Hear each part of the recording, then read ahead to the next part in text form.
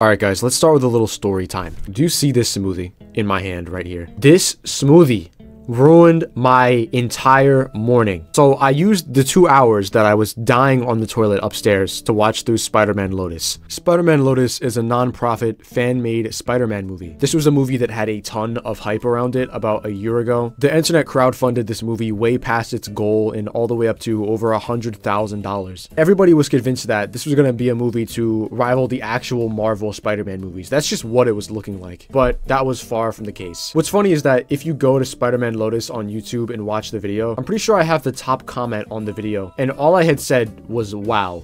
That's it, just wow. And I know this is a little vague, but I don't mean this as a wow. No, this is this is more like a wow. So I'm here to elaborate a little bit more on my thoughts about this movie and why I think this is one of the worst movies uh, I've ever seen in my entire life. Now, my perception of this movie might be a little, you know, overly negative, but that's because I experienced this movie while ascending to the avatar state on the fucking toilet. So if I'm just like overly negative in this video, that's why. This guy's name is Warden Wayne, and he plays Spider-Man and Peter Parker in this movie. Now, at the peak of the popularity and hype of this movie, somebody made a new Twitter account called Thunder and put up this tweet. It says, content warning, extreme racism.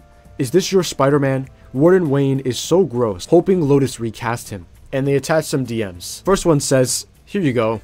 This that Mexican nigga. Although nigga looks like he bombs shit for fun. I commented, y'all ever make good and funny memes just to flex on blurred vision niggas? And he got mad. Nigga was mean as hell, always saying, I don't know if I can say that without getting demonetized, and saying he had bitches. And I just find this funny because it's like he's randomly inserting nigga into these sentences. Like, none of these sentences require you to even use that word. It's not even like in a context where he would specifically want to say that. He's just inserting it for just the sake of being edgy, I guess. So obviously this post blew blew up because there was a lot of people really interested in this movie. So Warden went ahead on Twitter and put out an official response to everything. He says, Hello everyone! I've decided to come out in regards to certain things from my past. I always thought it was better to be above reproach and come forward honestly about my mistakes I made when I was younger. This is very hard to say, and I feel gross, but I'm coming clean. I was raised in a homeschool conservative environment in a small town in Arkansas, where I had to sneak around on the other iPads and computers to use social media. My family has always been associated with groups such as the Duggars, and those values were subsequently pushed onto me. I didn't get my own cell phone until I was 18. I was in a bubble, where I wasn't aware of how serious it was for me to say these things or these words. My ideas of right and wrong were skewed. In other words, I lived in Arkansas Arkansas as a kid,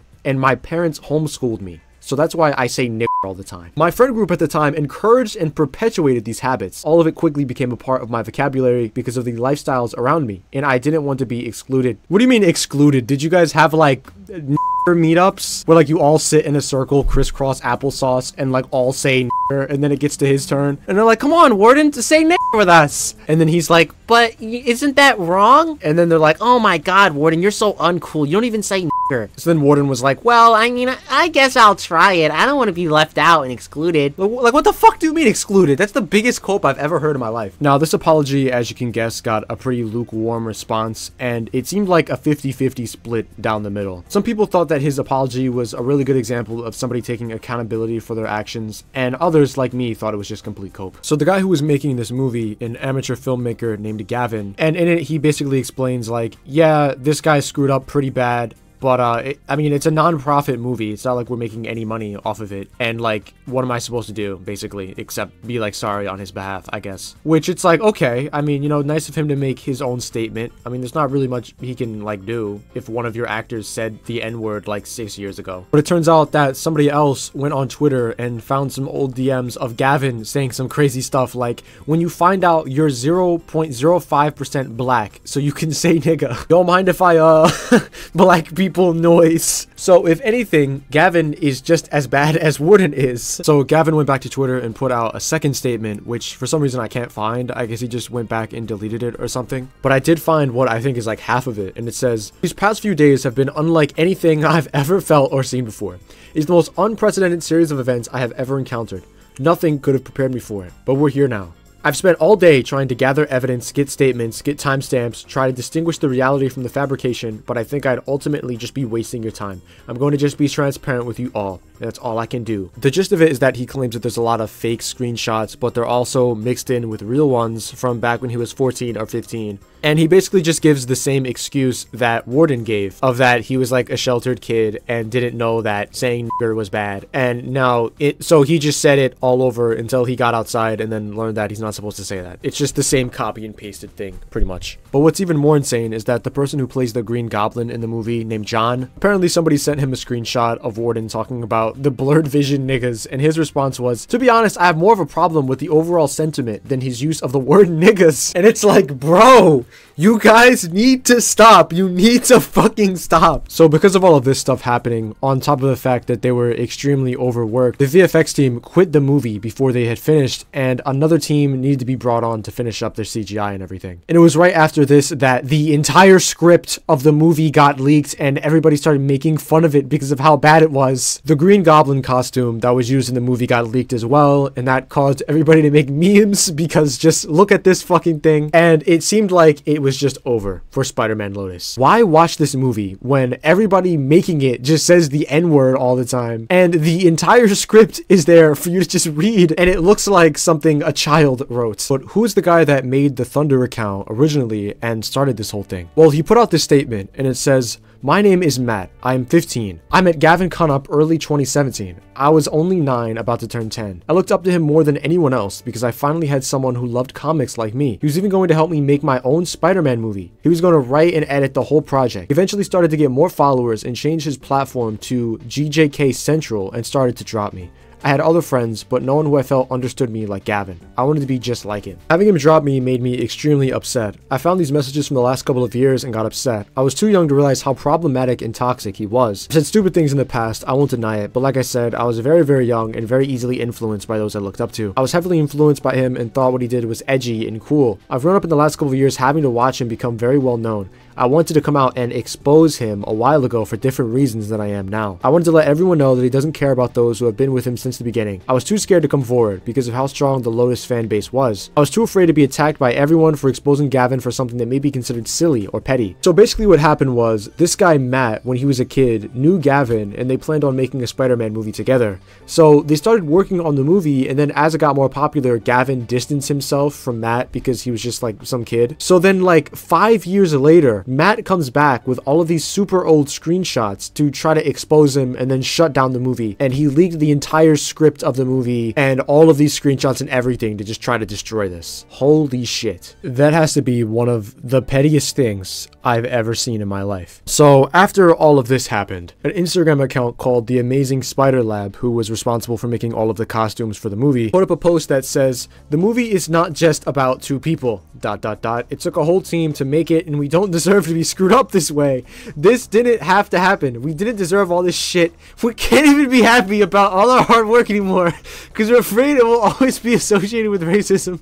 It doesn't have to be this way. Not all people involved deserve this treatment and the movie deserves to be out there and be seen. Just having a literal mental breakdown. And it's like, dude, I, I get you're the costume designer and everything. But it's like, bro, you were commissioned to make a Spider-Man costume and you made the costume and then you were paid. Like, you have no further investment in this, really. And it's not like you made some groundbreaking, epic Spider-Man suit that was never seen before that needs to be seen by the world. And the fact that this movie is tied to all this controversy makes it so that your work has been invalidated and nobody will see your fresh new idea. It's like, nigga, you just made like a normal Spider-Man suit that you can just like buy from Party City. Like, like I don't get it. So that's pretty much the whole backstory of this movie. And after hearing all of that, it really seems like the only way that this movie could be redeemed is if it was just the greatest thing ever. Just some kind of lightning in a bottle movie that's so good that everybody would just watch it and completely forget that this happened. But um, yeah, that, that's not what this movie was, or else I wouldn't be talking about it. So the film opens with a logo that says GJK, which stands for Gavin J. Konop. And then it says a film created by Gavin J. Konop. Bro flashed name two times before the movie even started. And it's like, dude, he, he must be super confident in this movie. Like, this shit must be lightning in a bottle. Then we cut to some stock footage overlooking New York City during the sunset while Spider-Man gives some narration. But wait, wh where have I seen this before? I knew it! I knew it! I knew it! I'm I'm too much of a nerd. I'm too much of a nerd. They need to nerf me.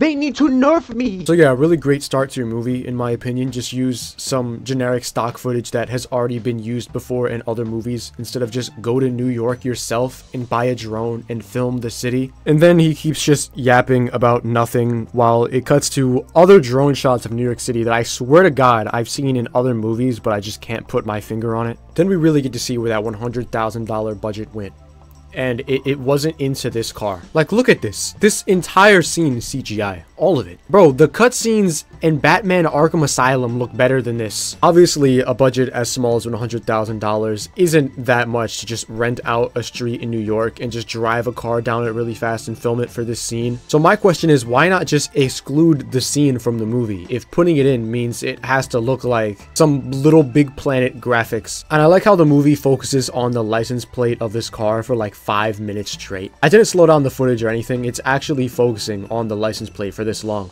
I guess you're supposed to scratch your head and be like, oh, uh, T-A-S, oh, uh, the, the amazing Spider-Man.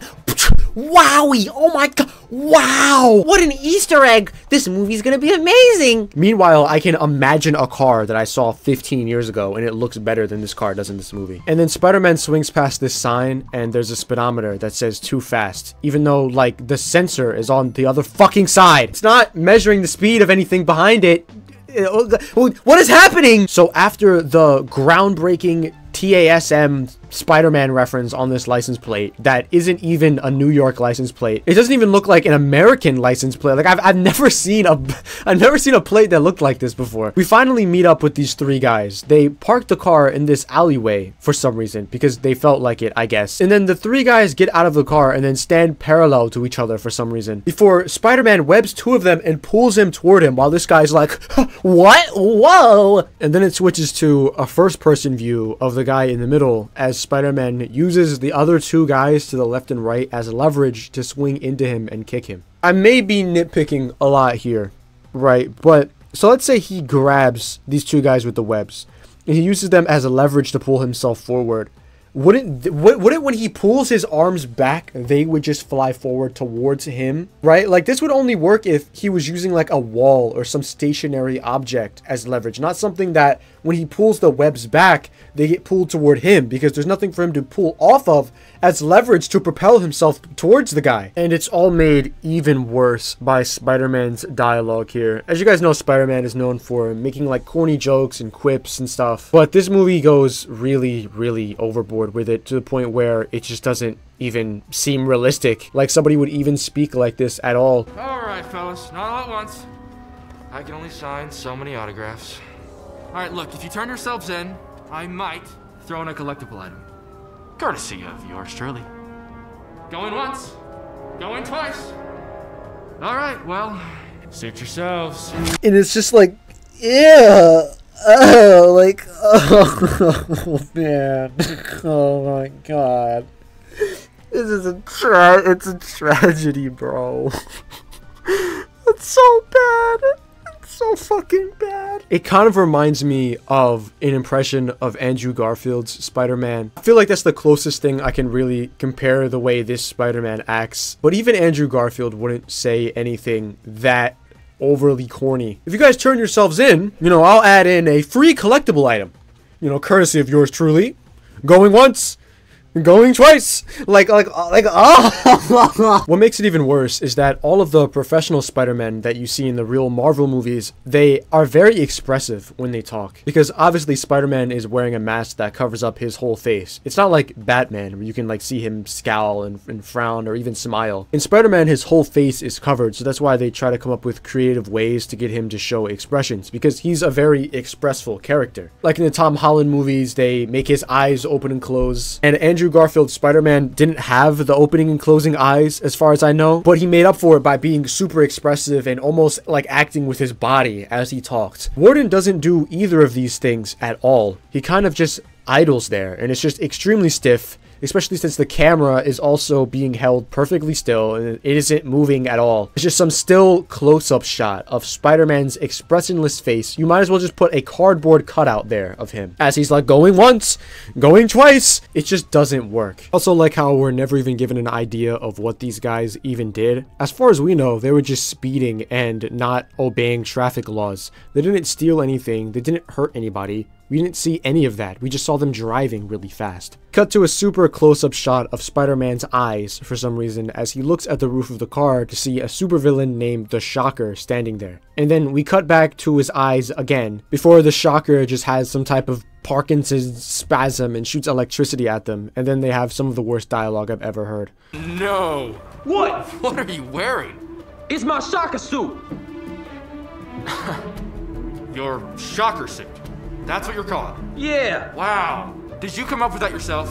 Real clever, buddy.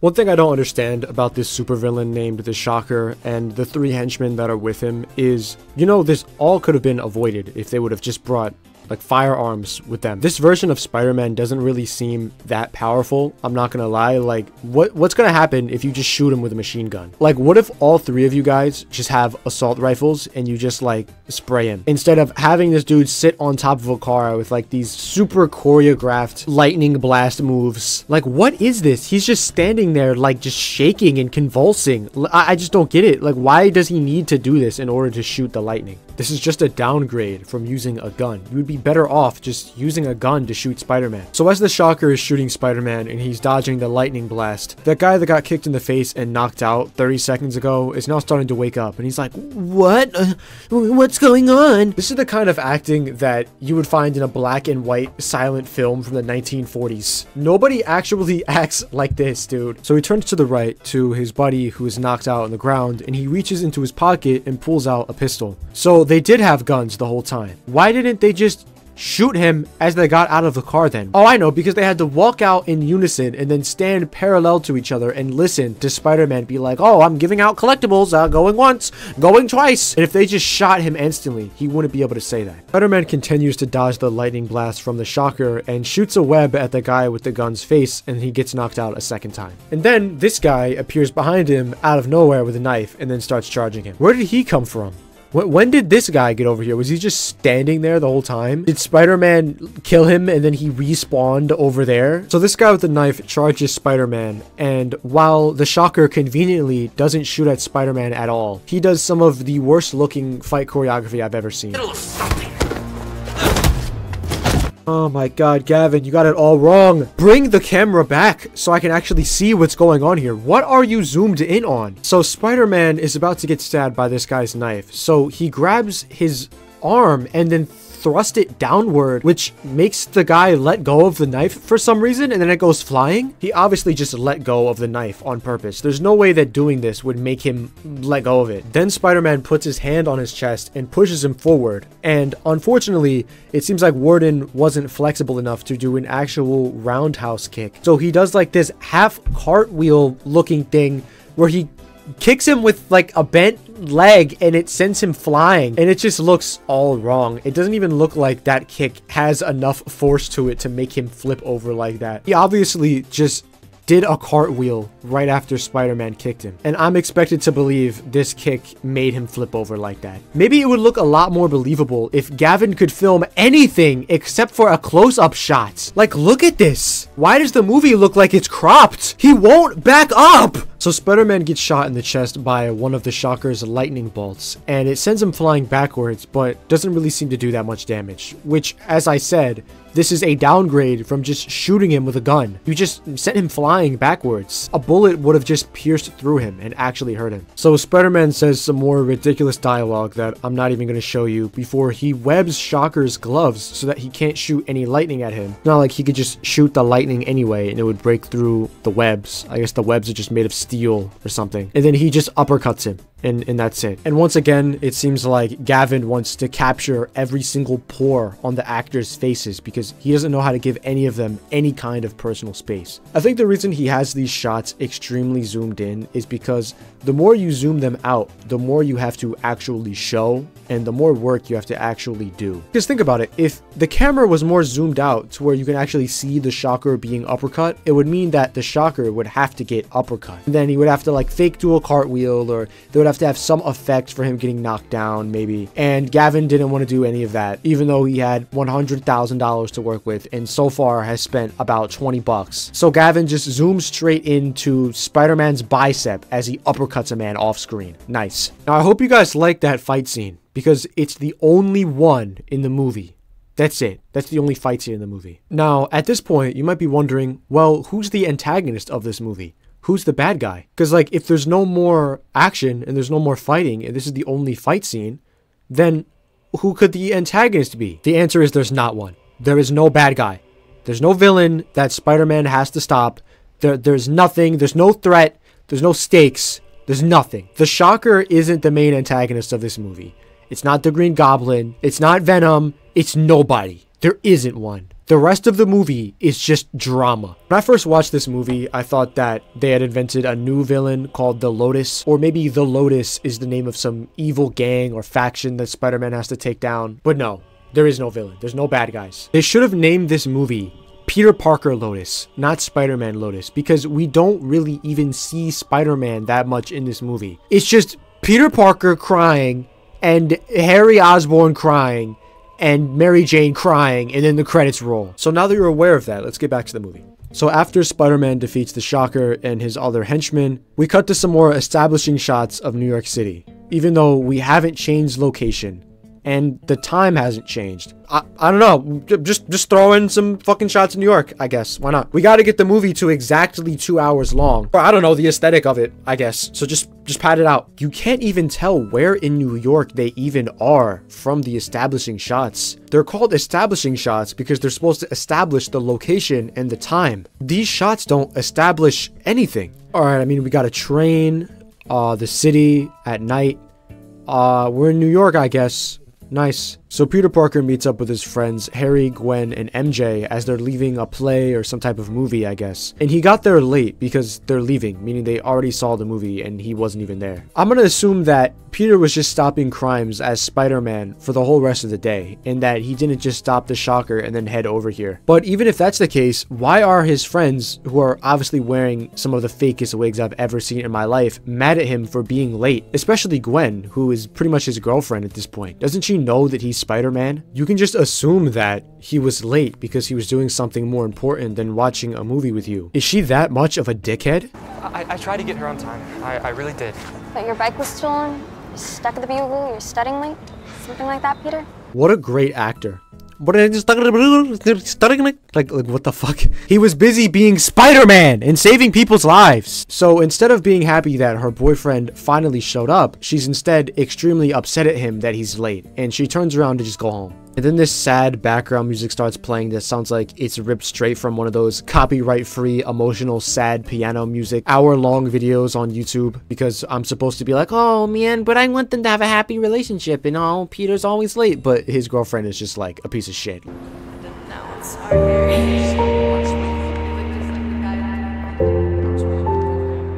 You might have noticed that that was really loud, and that wasn't me editing it or anything. You can look at the audio track right here and just see how bad the mixing is. Like, did Gavin write this piece of music himself and he was just so proud of it that he felt like you had to hear it? Why is it so fucking loud? So it turns out that all of this is a flashback and Gwen in the present is actually dead. She got caught in between a fight of Spider-Man and the Green Goblin and ended up dying. So Peter walks Gwen back home and has a ring on him, which I guess he's going to use to propose to her, but decides that it's not a good idea. So he puts the ring away and then walks away, and then another intro sequence starts where Gavin just just flashes his name again. Then we get a couple credits for the actors before Gavin flashes his name again a fourth time. And I like how he lets it linger longer than all of the other credits. Even after the screen starts to fade to black, he just tries to leave his name on there for as long as he can. Just so fucking lame. After that, we get a scene of Spider-Man sitting on a bed, looking like he just got back from his first date with an alt girl. And he's sitting there watching the news, but the news reporter doesn't sound anything like a news reporter at all. Like, like this isn't how news reporters talk. According to the autopsy report, it occurred around 5 a.m. this morning.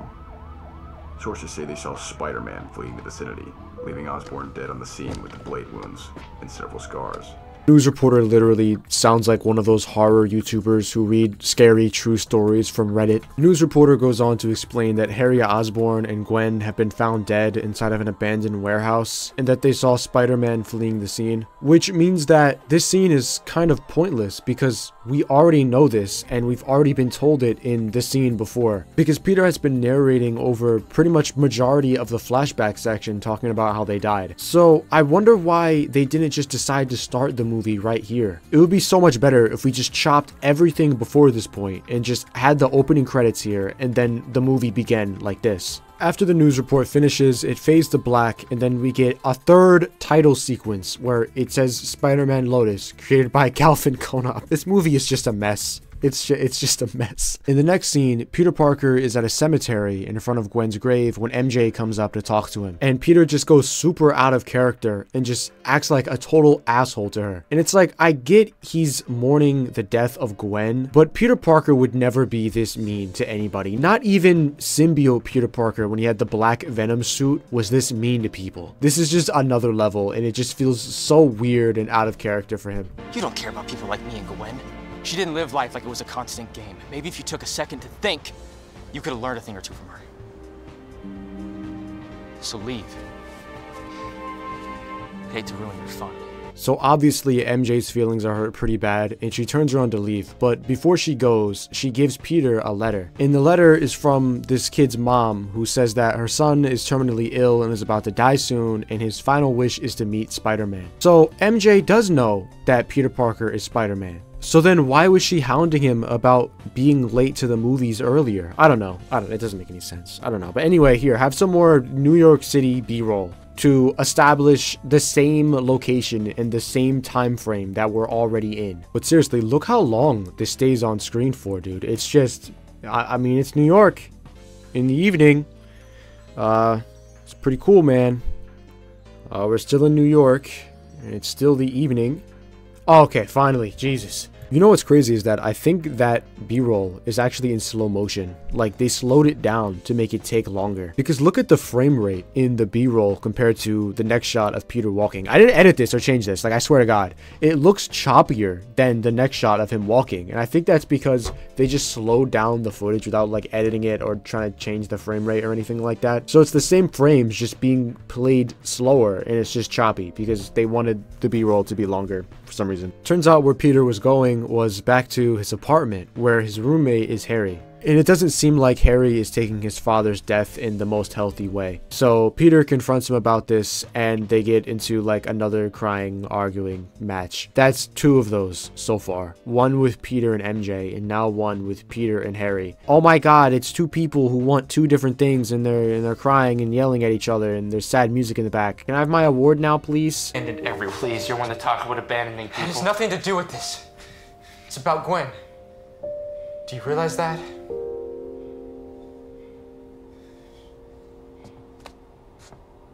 A- award, a- award, award, please, please, award, please, award. So Peter literally says to the man whose father just died that he's mad at him for disappearing and leaving MJ with nobody to hang out with. So Harry is like, dude, you disappeared too. Like, you can't say anything about disappearing. So then Peter is like, well, this isn't about your dad. This is about Gwen. You're not allowed to disappear. You have to stay around and hang out with me and MJ to keep us happy. Slave. Like, I'm serious. That's that's basically the gist of what he says. And it's like, like, damn, Peter. my God. So Obviously, after this, Harry gets mad and grabs his stuff and leaves. So what Peter does is he goes and gets out a laptop and then starts watching through videos of some of the friend group's happiest moments with Gwen. And it goes on for like 10 minutes. And it's just more of that super overreaching, overly emotional award bait you always find in short independent films like this. It just cuts from a close-up of the computer to a close-up of Peter's face trying not to cry, back to a close-up of the computer, and then back to a close-up of his face. It just keeps going on and on for like 10 minutes, and there's no reason for us to be here. We're not progressing the story.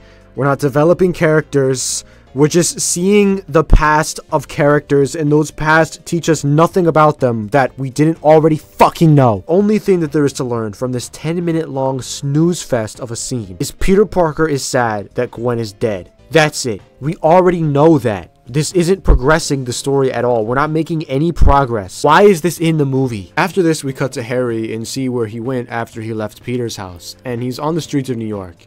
And he's just, he, I mean, he's, he's walking. Um, uh, he's still walking. This whole scene is just him walking, isn't it? Oh my fucking god. It's just Harry Osborn walking, and then he's riding a train, and then he's getting off the train, and then he's walking, and he's still walking, and he, he's walking, and he's standing there, and then he's looking off in the distance, and he, he's watching fucking cars. I don't think you guys understand how slow this this all is. That whole sequence I just showed you in a couple seconds of Harry just walking down the streets of New York, that is in six times speed. That is six times as fast. This is as fast as that actually is. This is the normal speed of the movie. Look at this. Do you know how fucking boring this shit is to watch? It's just Harry just walking with no dialogue as sad music plays. This is the this is one of the most boring movies I've ever seen in my life. If this was in a movie theater, I would have fell asleep. I would have actually fell asleep. After the whole sequence with Peter watching his videos of his friends on his computer and then after that Harry just walking I would have fallen asleep. I, I kid you not, I'm dead serious. I'd rather just read this story as a book, honestly. And I know movies are considered to be like a higher tier up from books nowadays, where it's like, you know, we get movie adaptations of books, but it's like, no, I want a book adaptation of this movie. Because if this was a book, it would just say, Harry Osborn walks. And then I could just see that sentence and read it and then it's fucking over. It doesn't last five minutes. Because that's it. There's nothing more to add here. If it was a book, it would just say, Harry Osborn walks.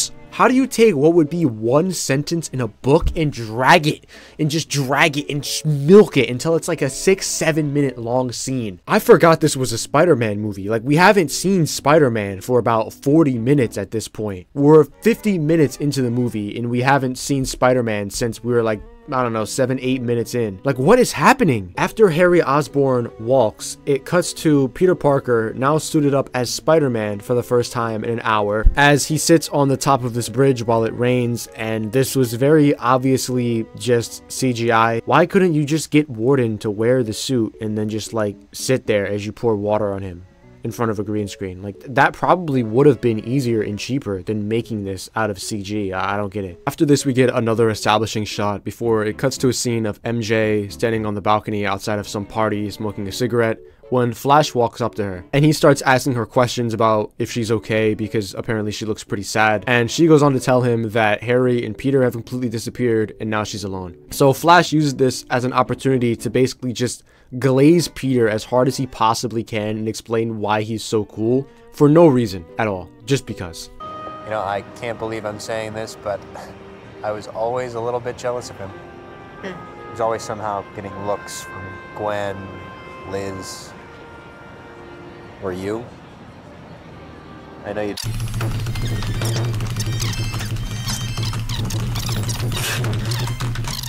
Hmm. it was early sophomore year, and well, for a guy his size, he could throw a solid punch. Peter and his aunt helped me out a lot. Probably more than they should have.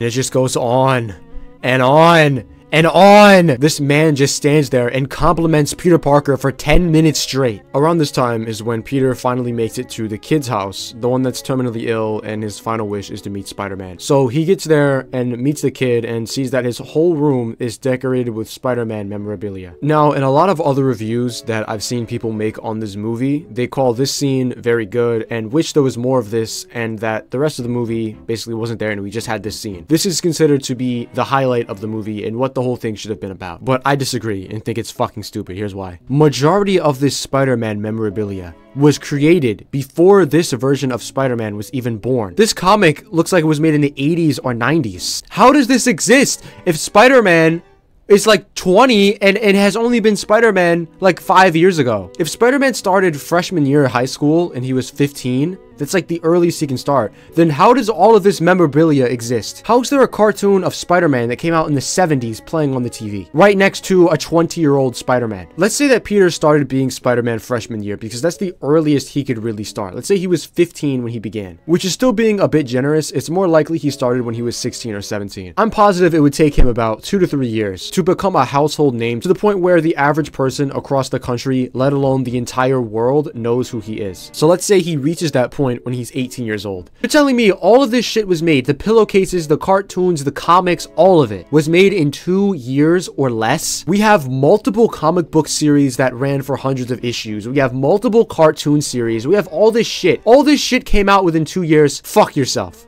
No, it didn't. This has to be the stupidest scene I've ever seen in my life. And I don't know how anybody working on this movie didn't realize this super simple fact that I noticed within like 30 seconds. Later in the scene, Spider-Man and this kid sit down to play a Spider-Man video game together for the Nintendo 64, a console that came out before Spider-Man was even born. Awesome. Also, you would really think that this kid would be a lot more excited to see Spider-Man. This is his greatest idol, like his hero, and he's been collecting his memorabilia pretty much his whole life, I'd assume.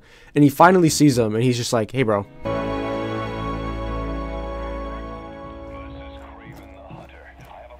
You collected all of this? Every newspaper that the Daily Bugle ever wrote about you. Another question that I have that could just be me looking too far into it is if this movie is the canonical real world and all of the events like Spider-Man stopping the Green Goblin and Gwen dying and him killing Venom and everything happen in the canonical real world, then what happens in the comics?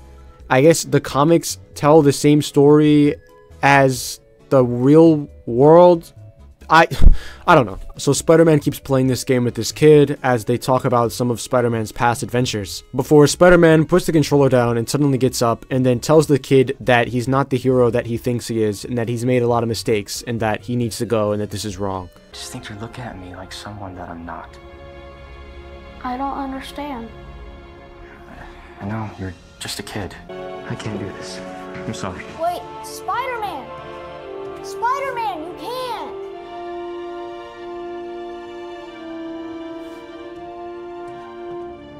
So Spider-Man just completely crushes this dying child's hopes and dreams, walks out past his mom to the front door when she stops him. Then she tells his mom that he thinks that I'm somebody that I'm not and I'm actually like a gooby wooby. And she basically just says to him, just pretend like you're not and then go back because like my son needs hope. And he's like, yeah, you're right. I'm Spider-Man. And he turns around and goes back in there. So after he goes back, they continue to play video games and hang out and talk about Spider-Man's adventures for the rest of the day. The kid asks Spider-Man what his true identity is, so he takes off his mask and shows him, then they hug one last time before he leaves. Harry and MJ are waiting for him, and then they both apologize to him for being mean. And that's the end of the movie. I'm, I'm serious, that's it. It's over. Created by Gavin J. Konop, by the way. I feel like the best analogy I can really use to describe this movie is this screenshot from SpongeBob right here. On the outside, it looks like an outstanding movie for being made with only a $100,000 budget, and I can obviously see why people crowdfunded this, especially after seeing the trailers and seeing the Spider-Man suit. It just looks very interesting, and if you're a Spider-Man fan, you probably can't help but donate money to this thing, or at least check it out. But when you actually watch the movie, there is no Spider-Man in it. Spider-Man only appears for maybe 10 to 15% of the movie, and all of the rest of it is just people arguing and crying, and then people walking, and just establishing shots of New York City, and it's just nothing on the inside. It's just sludge. I obviously don't expect this movie to be on par with the Marvel Spider-Man movies, even though Gavin on Twitter when the movie was being made insisted that it was going to be. I just feel so unfulfilled and unsatisfied at this movie. I feel like no progress was made from the beginning of the movie to the end. We're just in the same spot that we began. No characters really grew. We didn't really learn anything new about any of them. We didn't stop some threat or defeat some villain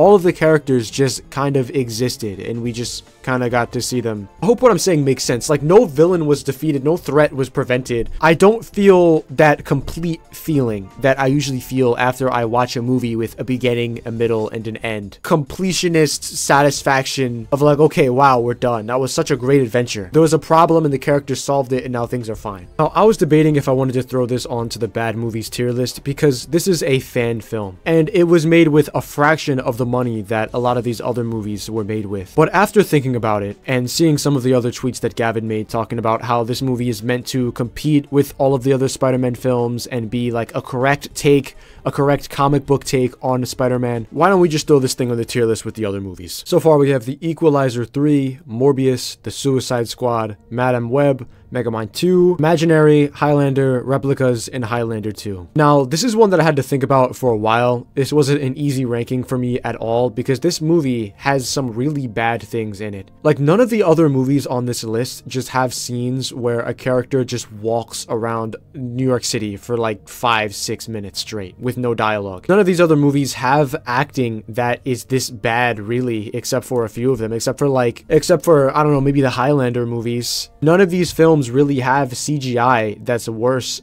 than this movie except for like replicas. not counting the Highlander movies because they're way older. I really don't think it's that harsh to put this after replicas as the second worst movie I've ever taken a look at on this channel. Terrible CGI, the horrible story where it doesn't progress and nothing even happens. The fact there's only one fight scene and in that fight scene there's like Looney Tunes acting where people are like, oh, what? Whoa. The fact that in this movie we have to watch Peter watch videos for 10 minutes straight and then watch Harry Osborn walk for 10 minutes down a city street. I don't think it's too harsh to call this the second worst movie I have ever watched in my life. Thank you guys so much for watching. I, I know I haven't posted a video in a while. I've just been super busy. I don't know. Leave a comment about what movie you want me to talk about next, and uh, I'll see you guys later.